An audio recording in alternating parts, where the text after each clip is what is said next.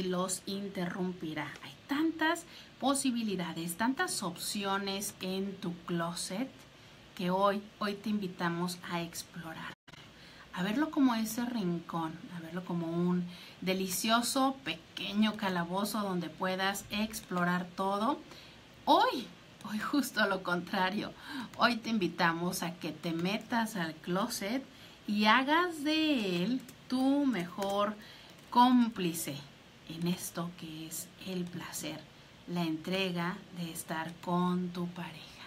Vámonos, vámonos al closet, que ahí puede haber muchos juguetes.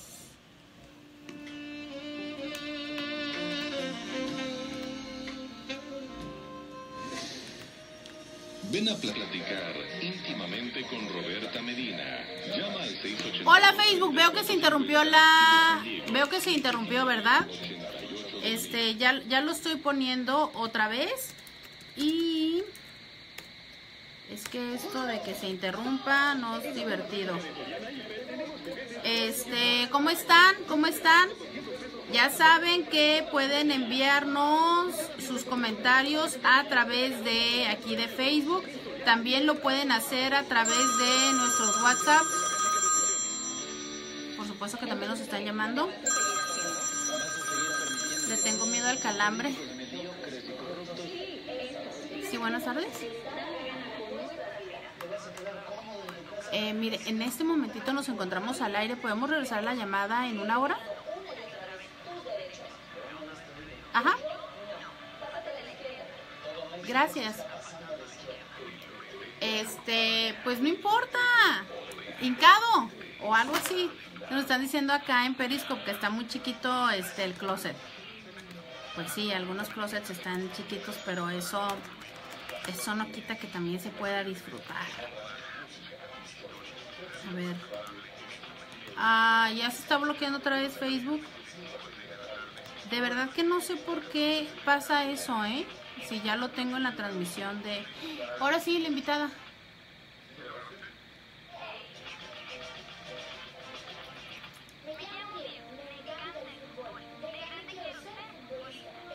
¿Quién anda por ahí por Facebook?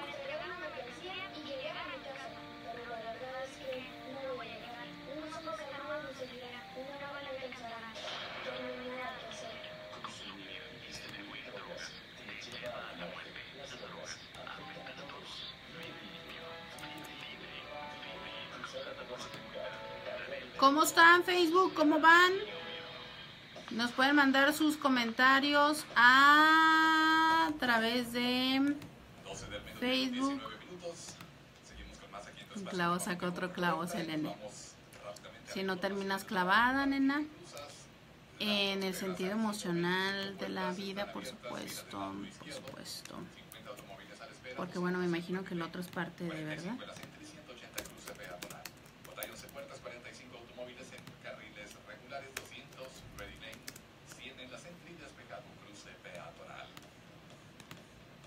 Take it back. Tengo la canción pegada. ¿Buscas placer? Íntimamente con Roberta. Llama al 682-3450 y de San Diego, 619-88-2000. ¡Oh! Miren, ¿les gusta mi bolsa? Está linda, ¿no? Invitada, la invitada. Pues no me has de querer tanto, Pepe, porque no te sales de Periscope. Y créeme lo que el internet está bien mal y no podemos transmitir eh, por Periscope. Cállale mejor a Facebook.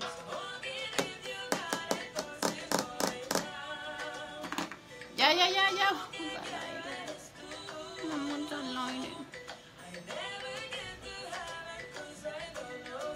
Vamos a concentrarnos a ver a Walter para lograr que voltee. Y lo logramos.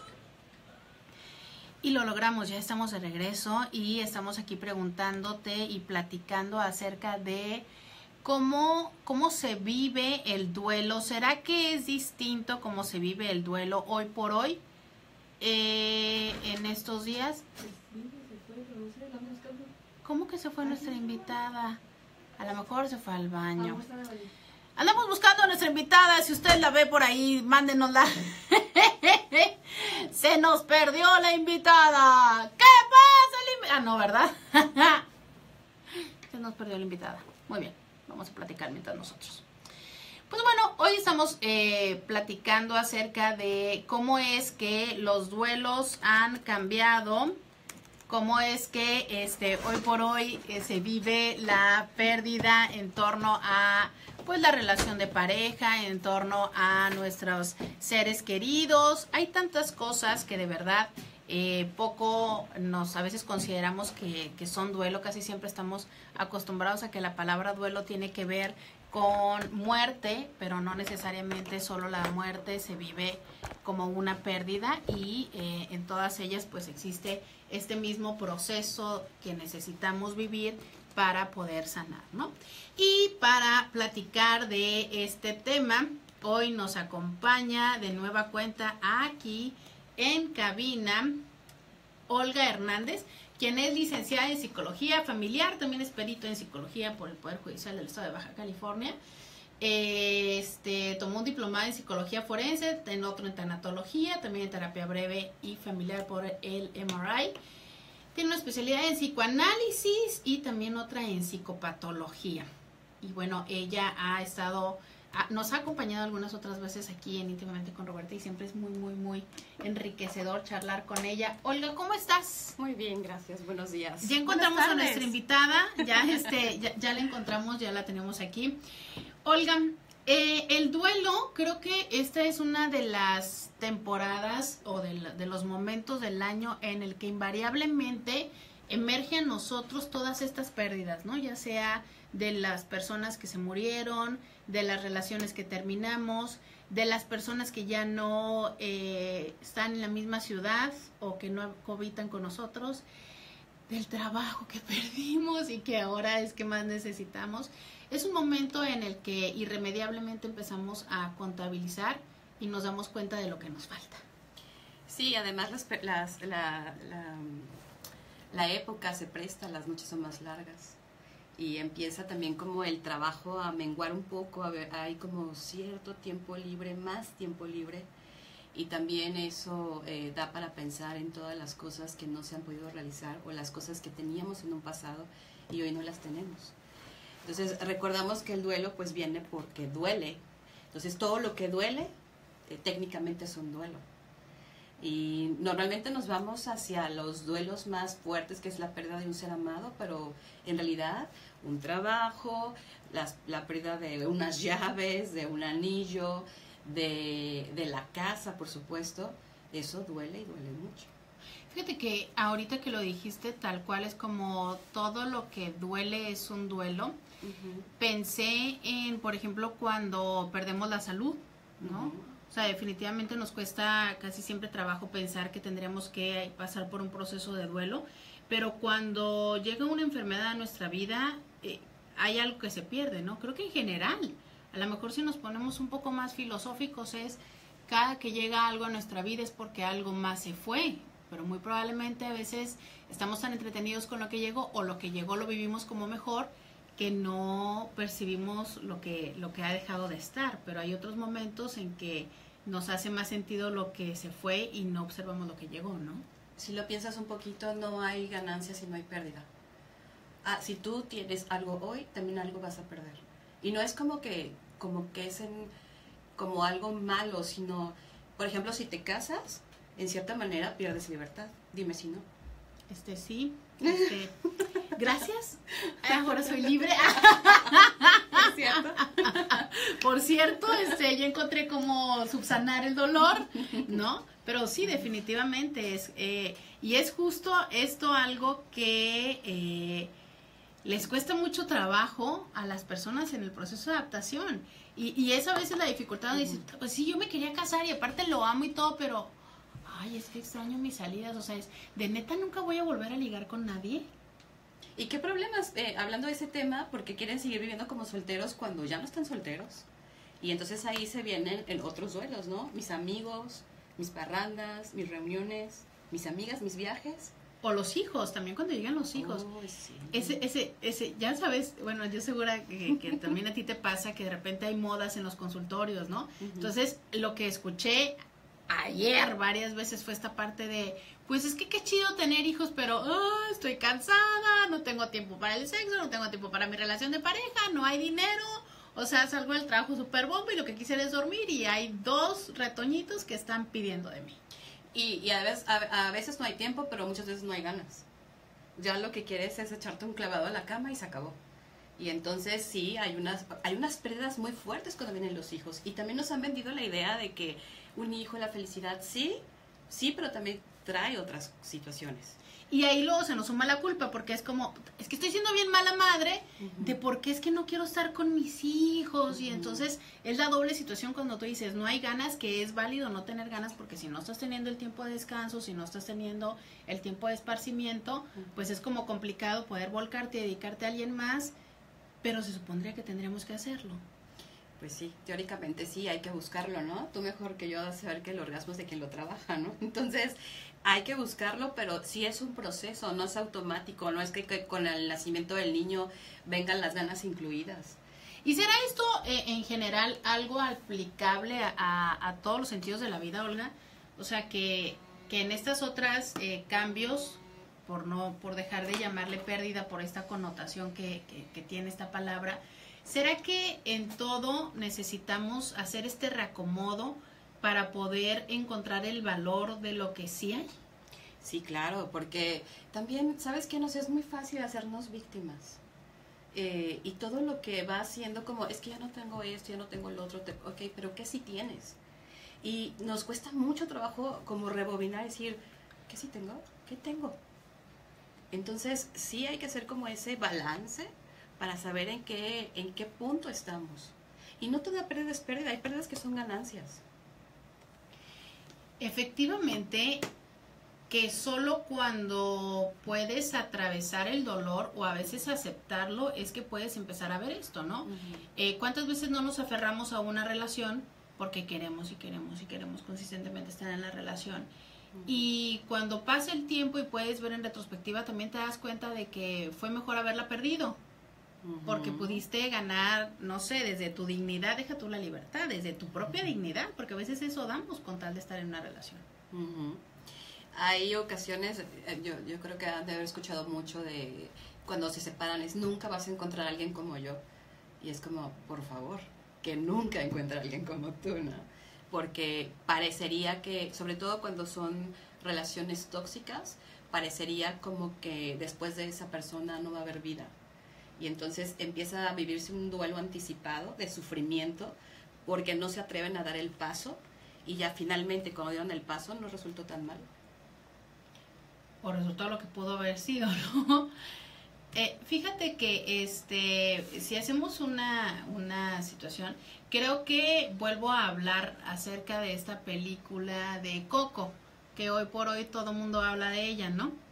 Creo que eh, nos, nos muestra una visión eh, muy distinta de lo que es la muerte y la vida, entre comillas, después de la muerte. ¿Ya la viste? No, de verdad que lo siento de verdad porque sé que está muy buena, pero me voy a dar la tarea máximo en una semana de verla.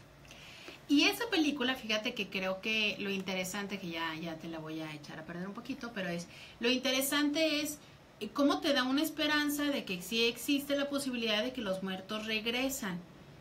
Esta onda de la esperanza muere al último, se nos ha vendido tanto, pero en verdad es que a veces nos ayuda tanto a sobrevivir que a veces también es importante tener presente que sostener esta esperanza imposibilita empezar el duelo. Sí, sí, porque se, se sigue eh, pensando que la persona a lo mejor va a regresar, ¿no? O nunca se fue, o nunca murió. Y aquí, bueno, vamos a ahondar un poquito más en ese punto. Por eso es tan importante que haya, hablando ya de una muerte física, eh, que haya una velación. El cerebro tiene que eh, conectar y registrar que esa persona realmente murió. Cuando no hay una velación, entonces el cerebro no registra y, pu- y puede esperar muchos años que esa persona regrese. Hay adultos que, bueno, hay, hay adultos que de niños les dijeron, tu papá se durmió, tu mamá se fue de viaje, va a regresar. De adultos obviamente se enteran que eso no sucede, pero siguen esperando que regrese. Claro, porque habría que entender que una cosa es en nuestra mente, otra cosa son nuestras emociones y que a veces eh, la emoción por sí misma no, no fluye de la forma más sencilla y que es donde entra en función el pensamiento y nuestras acciones para eh, fortificarlo, ¿no?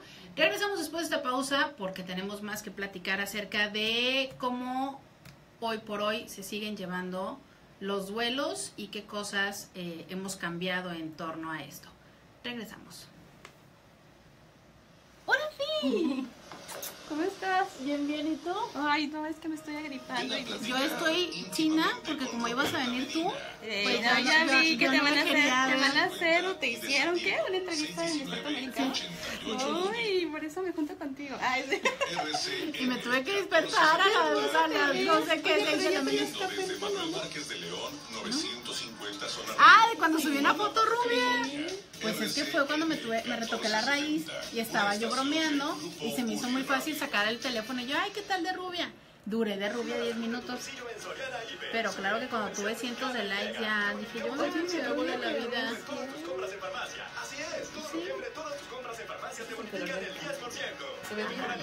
De la transmutación. Y por eso yo me peiné, porque como venía, te mandan saludos de como venía la china. Pero fíjense, ahora la china está más lacia que yo, eso que traes ahora es papel lacio. Cada donativo es una ¿Ah, sí? oportunidad de No me gusta esperanza chino, para cumplir los sueños de decenas de familias.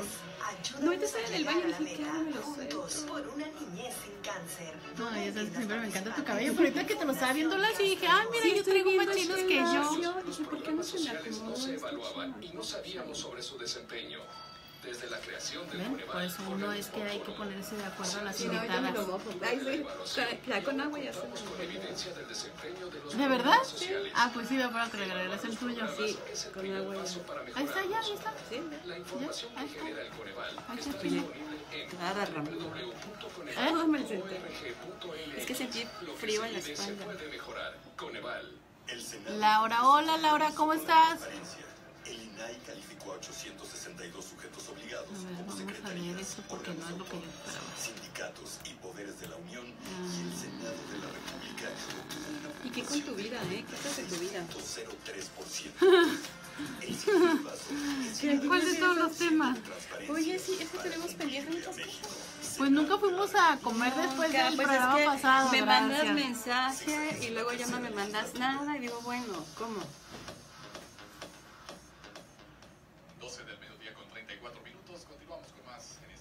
Pues mira, tengo información de aztecas, maya. Sí, de hecho, se Rituales. iban al... Era morir antes, no era lo que significa hoy. Oye, no, qué mal. De esas veces que te va a salir un grano, aquí, ¿Cómo duele? ajá, ¿se ve ya? Un poquito porque te estás agarrando. pero- Ay, ay, ay, hecho ay, ay, ay. La salida de un grano en televisión, nunca antes visto. Oye, la obsesiva. No, ¿cómo ¿De qué? Pues no sé qué no. Ah, pero lo siento. Ya sabes, Bueno, te que lo estás... y ya se te ve ahí como... Ahí, ahí está un grano. Ahí hay un grano. He perdido un pedazo de piel sana. Ah, no, no. Bueno, no, por el momento nada más. Y bueno, platicándote acerca de la diferencia de los duelos, déjate digo que los aztecas, el noveno mes mexica, estaba dedicado a los muertos, que correspondía a noviembre en el calendario gregoriano que utilizamos casualmente el Día de Todos los Santos y el Día de los Fieles Difuntos de la religión católica, ocurre en fechas similares, que es el primero y el 2 de noviembre. Para los mayas, ellos le otorgaban a los difuntos alimentos en forma de ofrendas para su recorrido e incluso en ocasiones se sepultaban perros con ellos para que acompañaran al difunto por el camino y le ayudaran a cruzar el camino al Silbaba. Fíjate que eh, voy a estarte diciendo eh, de diferentes eh, culturas, pero esta situación de, decíamos, ¿no? De la esperanza de, de la vida después de la muerte, de la esperanza de algún día, cuando yo también me muera, me voy a reencontrar con ellos. Muchas veces es algo que, que nos da paz, ¿no? Es como, no todo está perdido. Sí. Bu- Bueno, aquí vamos a retomar un- una cosa. Antes, en nuestros antepasados, en nuestra cultura, la muerte no era sinónimo de tristeza. Al contrario, morirse era una virtud. Morirse era, era una, un honor. Esto se vino a, a- con la transculturación de, de los españoles. Entonces ya nos empezó a significar dolor. Porque eh, ahí ya empezó el concepto de cielo-infierno. Nosotros no teníamos ese concepto. Entonces, cuando ya nos empieza a significar dolor es cuando ya empieza el sufrimiento por la muerte. Y fíjate que qué interesante esta diferencia de cómo hemos ido adoptando estas diferentes ideas, ¿no? En un principio, que hoy lo vemos mal, ¿no? Hoy decimos, no manches, ¿cómo es que hacían sacrificios humanos? Pero de verdad es que era todo un privilegio poder eh, lograr que tu vida se ofreciera a los dioses y aparte los, los resultados que esto iba a implicar para tantas otras personas. Y hoy por hoy es eh, totalmente visto como un acto en contra de la humanidad, ¿no? El de los sacrificios. El de los sacrificios y el de la muerte como, como una ofrenda. Sí, de hecho para los españoles parecía grotesco y, y también si nos ponemos en, una- en un punto muy objetivo, no es afán de crítica ni nada, pero en un punto muy objetivo, si para ellos les parecía muy grotesco los sacrificios que había con nuestros antepasados, pues también ellos con, con las torturas que hicieron para poder aceptar un catolicismo, entonces también hubo situaciones pues adversas, ¿no? Fíjate que precisamente acerca de los mexicas, eh, nos, nos menciona acá esta investigación que hizo los mexicas, los mexicas tenían rituales relacionados con la muerte que a los conquistadores les parecieron demasiado sangrientas y macabras. Una investigadora de la UNAM explica que cuando una persona de alto rango fallecía, se realizaban sacrificios de esclavos en su nombre. Sí, porque eh, se supone que los acompañaban. Por eso los enterraban. Quien ha tenido la oportunidad de ir a, ver vestigios de las tumbas, pues encontraban metates, eh, ¿cómo se llama el, el tapete este que ponían? Eh, perros, encontraban todo este tipo de, de, artefactos y también de esqueletos porque todos ellos los acompañaban. O sea, un, un rey sigue siendo un rey después de la muerte. Entonces necesitaba pues su séquito. ¿no? Los españoles, ¿no? Que justo ya mencionabas acerca de esto, cuando llegan, eh, les dan como el pseudo permiso de que sigan con sus rituales, pero empiezan a cambiar las cosas, como por ejemplo, eh, estos sacrificios se reemplazan por panes de muerto que llevan azúcar roja y formas de, seres humanos, ¿no? Y que sabemos que, bueno, todo esto ha ido siendo una adaptación porque yo creo que los seres humanos, por más que nos cuesta trabajo aceptarlo, creo que por siempre tenemos de cierto que nos vamos a morir. Sí. Sí, aunque suena cliché, la verdad es que sí es lo único que tenemos seguro. Y es algo a lo que le, le, le huimos. Y es algo que, que, fíjate, el pensar en la muerte nos debe de, también de aterrizar en el aquí y en la hora de, de verdad, aprovechar lo que estamos haciendo hoy y disfrutar lo que estamos haciendo hoy.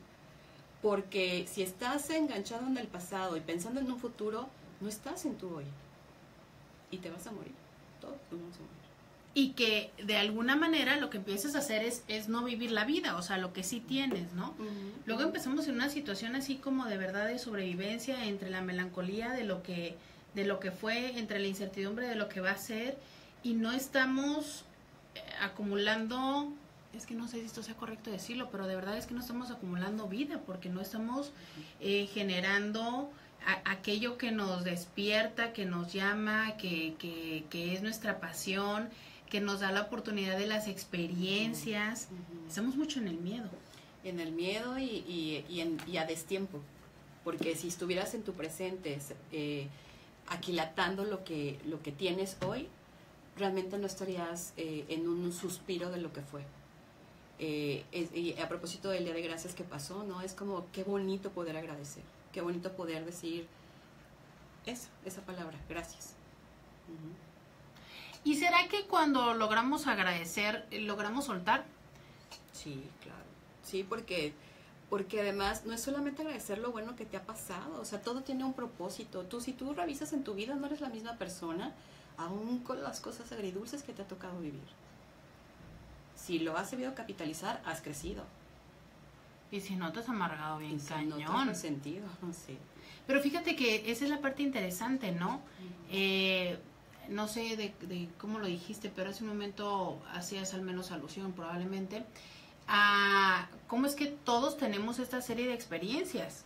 Es que no hay forma, de verdad es que no hay forma, yo creo que a menos de que tengas un año de vida, dos o tres años de vida y muy probablemente porque no tienes este constructo, pero de todas maneras ya tenías pérdidas, ya tenías errores, ya tenías tropiezos, ya tenías golpes, ¿no? Pero ¿cómo es que de esto puedes hacer una construcción favorable o cómo es que puedes ir eh, oxidando tu capacidad de resiliencia, de, de apreciación, de motivación, de autoestima y todo lo demás? Sí, eh, eh, y volvemos un poquito al, al- al término este de víctima, ¿no? Porque también a veces uno cree en ese narcisismo que solamente a uno le pasan las cosas. ¿Y no? es así. No. ¿Ah, que sí? Ya no juego. Yo creí que nada más a mí me pasaban cosas. No, a todos nos pasan cosas. Y a veces nos sana, ¿eh? Como el hecho de decir, bueno, o sea, me doy cuenta que de verdad es que no soy la única que me pasa esto, o no soy el único. Y entonces hay una sensación como de no estoy tan mal, como no estoy enfermo, y muchas veces esto nos ayuda también a sentir que no tenemos la culpa. Y además, bueno, aquí vamos a hacer un poquito de alusión al psicoanálisis, ¿no? Todo empieza en la mente. Un dolor psíquico se convierte en un dolor físico. Entonces eso significa que a mí me duele haber perdido a mi pareja por lo que pienso de que no está conmigo. Por lo que tú interpretas de por qué no está contigo, sí. Eso es lo que te puede hasta enfermar. Entonces, en ese sentido, el cambiar la idea y la lo que me digo del por qué no está conmigo hará que me duela menos. hará que puedas empezar a entender el por qué y por ende te dolerá con el tiempo menos. Pero si tú persigues que te duela menos, pero es, esa no sería como la finalidad, es entender, te digo, y por ende te va a doler paulatinamente menos. Siempre un, la pérdida de un amor que has amado, pues te va a doler. Fíjate que está interesante el concepto, ¿eh? aunque lo corriges, a mí me, lo quiero retomar, porque a lo mejor eh, sí como por consecuencia de lo que yo hago me va a dejar de doler, pero lo que sí me queda claro es que puedo perseguir que me siga doliendo. Claro, sí, sí, sí. O sea, si yo empiezo con esta onda paranoica, ya sabes, bien eh, tradicional de estos momentos, de meterme a Facebook a todo momento, de estar viendo qué hace, de ver si me contesta o no me contesta en el WhatsApp, de buscarle, de rogarle, de chalala, chalala, chalala, ¿no? De mantener la esperanza, de no mover nada en mi casa para el día que regrese, o sea, de todo lo que yo hago en una expectativa de algo que no va a suceder, pues claro que voy a hacer un mega hoyo de, de dolor y aparte al rato me voy a dar cuenta que ya tengo cinco años esperando a la otra persona y que la otra persona ya se fue, ya rehizo su vida, ya se casó y tuvo hijos. Pues claro que ahí sí estoy persiguiendo que me siga doliendo, ¿no? Y lo estás haciendo bien, porque además muy probablemente estás idealizando. Nadie va a ser tan bueno y tan excelente como el que el que se fue ya. Entonces, no vas a nadie va a llegar a esos estándares que tú idealizaste y tienes en tu cabeza. Justo, justo eso veía de cómo incluso podemos llegar a idealizar eh, probablemente desde otro lugar. A ver, de- déjame explicarlo. Es, muchas veces idealizamos lo que queremos de nuestra relación de pareja en función a lo mejor de lo que tuvimos con nuestros padres. Y le estamos cobrando una idealización que ni siquiera tiene que ver con esta persona, ¿no? Y entonces eso también nos, nos está generando que conforme vamos haciendo estos vacíos o estas necesidades que no resolvemos, vamos esperando que otras personas en el mundo nos las resuelvan y nos las hagan. Vale mucho la pena que reconozcamos cómo es que escogemos pareja. Tenemos, psicoanalíticamente, tenemos dos formas de escoger pareja. Por apuntalamiento o por narcisismo. Por apuntalamiento es porque estamos apuntalando las, las características de papá o de mamá. Y entonces vamos, en, no solamente características negativas, también las positivas. Pero si mi mamá fue una persona impositiva, mandona, etcétera, casi seguro que mi esposa va a ser impositiva, mandona, etcétera y por narcisismo. O sea, si yo, si yo tengo licenciatura, no admito menos. Si yo quise ojos claros, pues yo quiero ahora un, un marido de ojos claros. Entonces, en estas formas que tenemos de escoger pareja, tenemos que ver en dónde podemos caer en un vacío. Y, y no, y es, y es como un fondo que no se va a llenar nunca. ¿Cuál, es, eh, cuál sería entonces eh, una, unos primeros pasos, vamos eh, identificando ¿Qué nos puede ayudar a ir superando los duelos? Quiero hablar, regresando después de esta pausa, de si la tecnología nos ayuda o nos dificulta este proceso. Ya volvemos.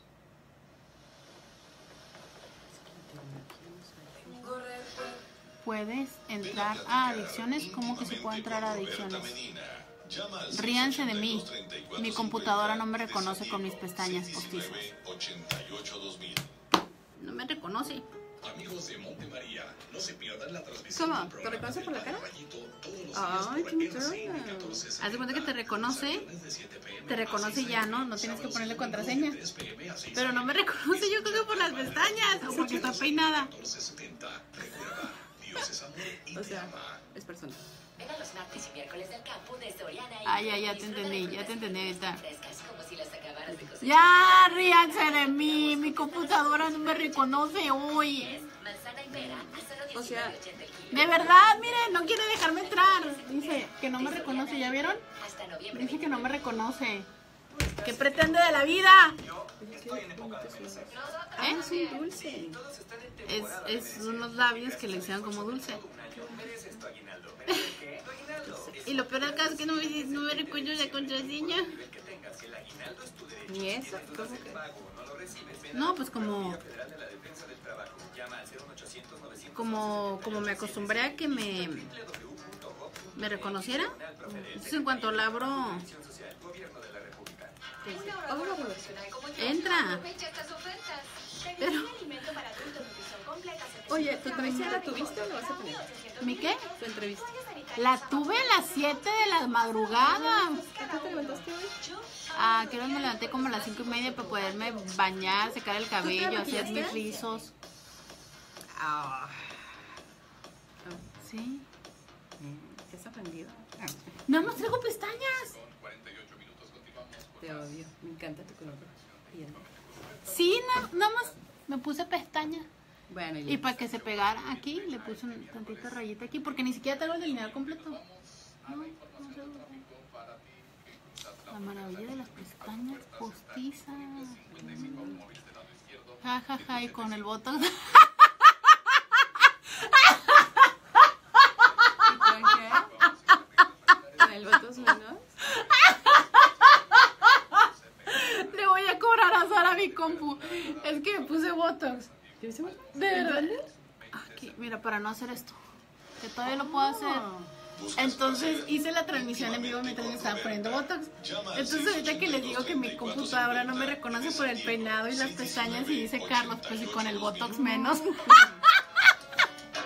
Pero miren, ya no puedo hacerlo tanto. Ahí va, ahí va. Pero el décimo día se ve el resultado. Ya estamos aquí. De verdad es que no tienen idea cómo me hacen la vida. Te lo, te lo juro, ¿eh? Este, sus mensajes, sus WhatsApps y esta parte de, compartir todos los días diferentes eh, travesuras. De verdad es que muchísimas gracias por todos sus comentarios. Y bueno, a ver, Olga, la tecnología hoy por hoy nos ayuda a cerrar ciclos o nos hace más complicada la vida. Nos complica. Nos complica. Antes era que esperar la carta, que esperar el telegrama y ahora hay una manera de investigar qué hace, cómo hizo, por dónde hizo y es unas ganas de sufrir. Fíjate que eh, te voy a decir una cosa, hay días, eh, lo confieso, lo confieso, yo siempre, ya saben que aquí también me balconeo. Hay días en que yo digo, qué chido Facebook que te recuerda lo que hiciste. Ya sabes, Sí. un día como hoy y te manda, ¿no? A decir, gracias mis cuentas, de tanto que me las han tumbado en Facebook, la última nada más tiene tres años de vida. Entonces nada más tengo memoria de tres años de vida, ¿no? Pero hay días en que yo digo, neta, güey, como para qué me recuerdas esto, ¿sabes? O sea, por Dios, es- estoy tratando de olvidarlo y tú todavía me recuerdas. Entonces, no solamente es lo que vas y haces hacia con nosotros, es la manera en la que también vas haciendo un diario propio de tu, de tu experiencia. Y es parte de tu vida, ¿eh? Entonces, eh, pero fíjate que ahí, si tú ya pasaste bien por ese duelo, y pasar bien no es reprimir, pasar bien no es hacer de cuenta que no me dolió, pasar bien es llorarlo, enojarte, deprimirte, aceptarlo. Eso es pasarlo bien. Entonces, si pasaste bien por ese duelo, lo que tú veas ya no duele como te dolería si no lo pasaste. Ah, claro, pero de todas maneras es una sensación así como... Sí es sniff, sniff, pero de todas maneras, no, o sea, sí es parte de tu vida, no puedes ser de cuenta que no lo viviste. Claro, pero tampoco está chido que te lo recuerden, ¿no? Como tú decías, o sea, antes, y si ya sabes, si ya habías quitado la foto del muertito y ya habías limpiado el closet, ¿cuántas eran las posibilidades de que te, vol- te volvieras a encontrar con algo del muertito? O sea, hasta que te encontrabas a alguien que hacía mucho tiempo que no veías y te preguntaba o algo por el estilo, ¿no? Ahorita basta con que literal es que abras tu teléfono y Facebook ya te recuerda X cosa, ¿no? Pues sí, pero si duele todavía y significativamente algo hay, ¿eh? No lo dudo, no lo dudo ni tampoco lo niego, eh, lo acepto abiertamente. Este, ya cada día es menos, ¿no? Definitivamente, y creo que esa es la parte interesante. Eh, que te des cuenta que hay una evolución, ¿no? Y justo lo, lo, lo recordaste ahorita, estas fases del duelo. Sí, eh, definitivamente te puedes identificar cuando hay momentos en los que dices tú, no, no es cierto, va a regresar. Hay momentos en los que dices tú, pero ¿qué le pasa? ¿No? O sea, ¿por qué tal cosa? Hay momentos donde dices, como extraño tal. Y hay momentos en los que dices tú, pues sí, fue, ¿no? Y casi eh, poco a poco te vas reconciliando con eh, la situación actual. Y además te voy a decir, hay años que te va a doler como la primera vez, y es normal, y hay años que ni te vas a acordar. Entonces, cuando ya después de que pasó tiempo y no te acordaste, y luego te vuelves a acordar, es como de, estoy retrocediendo, no, es normal. Dale paso a ese, a ese recuerdo y déjalo ir. No te pelees con el recuerdo. Es que esa parte de déjalo ir, lo escucho tan en tantos lugares, digo, no solamente este como nombre de, de nuestro proyecto de Dilo y déjalo ir, pero de verdad es como, es tan presente en tantas circunstancias de la vida, el dejar ir, el transcurrir, como lo dijiste ahorita, dale paso, como otros momentos nos lo dicen, deja fluir, ¿no? Suéltate con el movimiento de la vida. Ah, pero es que nos encanta hacer nuestra voluntad. ¿En qué, en, en qué aspecto? Pues en todo, ¿no? O sea, ¿por qué, porque, ¿por qué se dificulta, por ejemplo, en, en la- una situación de pareja? De verdad, a ver, vamos pensando, va- vamos pensando, vamos pensando. vamos nada más pensando, vamos no sintiendo, vamos pensando, ¿no? Pensando. Desde la lógica dices tú, a ver, la persona no quiere estar contigo, porque si quisiera estar contigo estaría. ¿Para qué carajos quieres tú a alguien que no quiere estar contigo? Listo, vámonos, se acabó. ¿No? Sí, pero Sería también- simple. Sí, no, no, sí, suena muy fácil, ¿eh? Pero también vamos otra vez a lo que hablabas hace un momento. ¿Cómo escogemos a la pareja? Por los padres. Si tuviste un padre que, que, que se alejó, te vas a aferrar al que te queda. Entonces, vete a terapia. Te vas a aferrar. Y no es como que él en sí, sino lo que él te representa. Te aferras a lo que te representa. Y a las necesidades que te cumple, y al capricho, y a, y a ¿O tu qué crees que te cumple también, ¿eh? constructo, claro, a tu constructo de esto, ¿no? Lo que decíamos hace un momento, es que tú piensas que es la mujer ideal o es el hombre ideal, ¿no? Ujú. Entonces, pero eh, es a eso a lo que me refería, o sea, es realmente es donde nos atoramos entre las situaciones, ¿no? O sea, si las cosas luego suenan lógicas, pero nosotros no las complicamos. Y, a lo que me refería cuando te decía hace un momento es, bueno, si fuéramos nada más de pensar, dirías tú, bueno, listo, yo ya no quiero esto. Ah, no, pero es que el tema es que yo quiero lo que quiero. Y entonces es cuando yo quiero que el otro venga, yo quiero que la otra no se vaya, yo quiero que, que revive el muerto, quiero que me regrese en mi trabajo, me explico, o sea, es como en vez de aceptar lo que es, o sea, en este momento es, pudo haber sido muy buen trabajo, pero hoy ya no es. Sí, y, y sabes que esos tipos de duelos duelen más, ¿eh? Porque estás aferrado a lo que ya no tienes y no va a volver, por lo menos en ese momento no va a volver, y tampoco te permites empezar a caminar. ¿Y qué es caminar? O sea, ni lo lloras, ni, ni lo, ni, ni también empiezas a ver en, un, en una forma más objetiva pros y contras, porque no todo fue maravilloso ni con la persona ni con el trabajo, pros y contras, ni empiezas a ver por, por lo que viene adelante, ¿no? Ni, ni te permites planear, ni te permites soñar, ni te, ni te permites hacer otra cosa más que estar ahí atorado. Oye, Olga, ¿duele más, eh, digo, en, en situación de muerte pues no lo sabemos, ¿no? Pero duele más quien se va o a quien dejan. No, duele más el que se queda porque el que se queda se queda enojado de por qué me dejaste. Lo que duele son los apegos.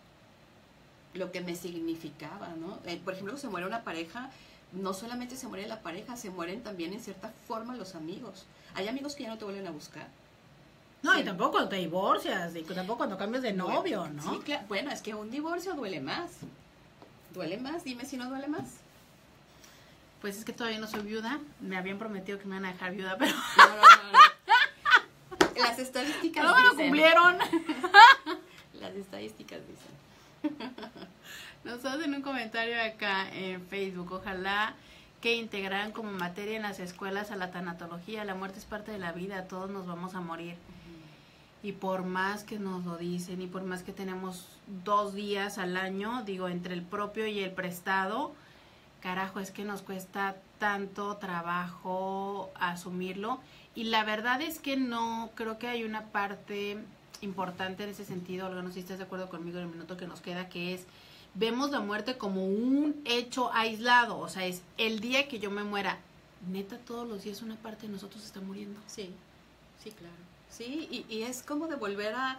Ahorita que ven estas fechas que también son como muy propicias para entristecerse, al contrario, tienes vida, ¿qué estás haciendo con tu vida? Y también es un buen momento para despedirte de tus muertos, aunque estén vivos, ¿eh? Muchas gracias por habernos acompañado. Se nos termina el tiempo y hay muchas cosas que decir todavía porque bueno, este este es un tema que contrario a la muerte, eso sí es un tema infinito. Pero de verdad muchas gracias Olga por habernos Gracias. acompañado. Siempre es eh, muy divertido platicar contigo, aparte de que tú sabes que yo amo tus chinos, por Ay, eso el día de hoy traje chinos, yo también. Y yo ya estoy en Lacia. y ella está en Asia, pero bueno. Eh, Olga, ¿el teléfono donde puedan encontrarte? 664-389-6123. Muchas gracias por estar aquí y espero que pronto eh, regreses acá íntimamente con Roberta. Claro que sí, será un gusto. Muchas gracias a quienes nos acompañaron en Facebook. De verdad, muchas gracias porque el día de hoy me hicieron reír mucho. Muchas, muchas gracias. A, quienes nos acompañan en WhatsApp, a quienes nos acompañan en el 1470 de la M, a Leslie y a Walter en cabina. Ah, también en Periscope. O nos estuvieron acompañando. Pero sobre todo a ti que haces esto posible. Mañana, mañana. Ay, ay, ya cerré esto. Pero mañana, ay, ¿con cuántas mujeres salen las, con cuántas personas, el tema de mañana, con cuántas personas salen las mujeres cuando están solteras? Qué interesante. Mañana nos vamos a enterar si es que todavía nos faltan. Hasta mañana. Sí, me tuve que levantar temprano para peinarme por la entrevista. Y pues, y pues sí, ya estoy peinada. Bye, Periscope. Vénganse a Facebook porque no siempre puedo transmitir por la por la internet. Aprovecha nuestras ofertas semanales. Pollo para Bye, Facebook. Qué risa con lo del bot.